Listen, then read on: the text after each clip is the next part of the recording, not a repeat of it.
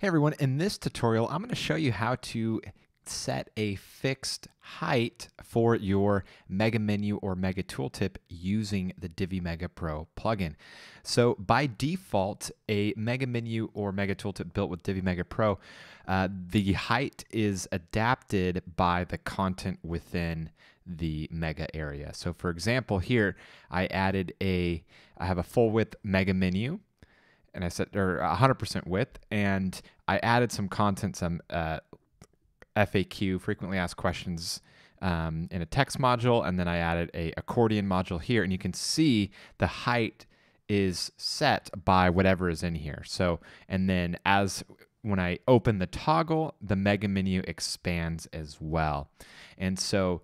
Uh, there might be cases though that you do not want the mega menu to automatically adapt to the height of the content and you want to set a fixed height. And so you can do that easily within settings. So navigate to the Mega menu you want to edit and scroll down to the Mega Pro display settings. And you can see here we have the Mega Pro width set to 100% and then the Mega Pro fixed height is empty by default. And when it's empty, it'll adapt to the height of the content within. But I'm going to go ahead and just set this to, let's try 600 pixels and see what this looks like.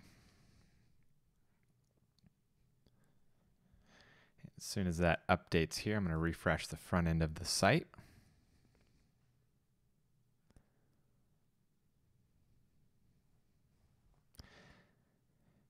And you can see here, rather than being contains the entire content, it's fixed at 600 pixels. And of course, I can adjust that so I have it be you know just under uh, this top portion here.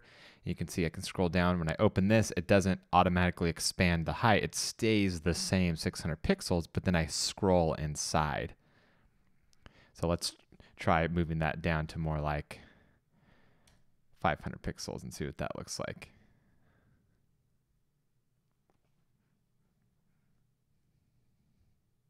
Refresh this.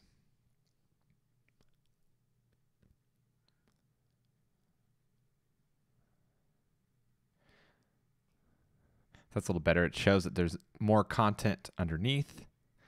And then you can scroll, open the toggle, and scroll through.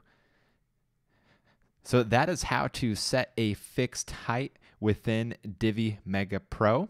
And so this will be the same whether you want to set a fixed height for a Mega Menu or a Mega Tooltip. Thanks for watching. See you in the next tutorial.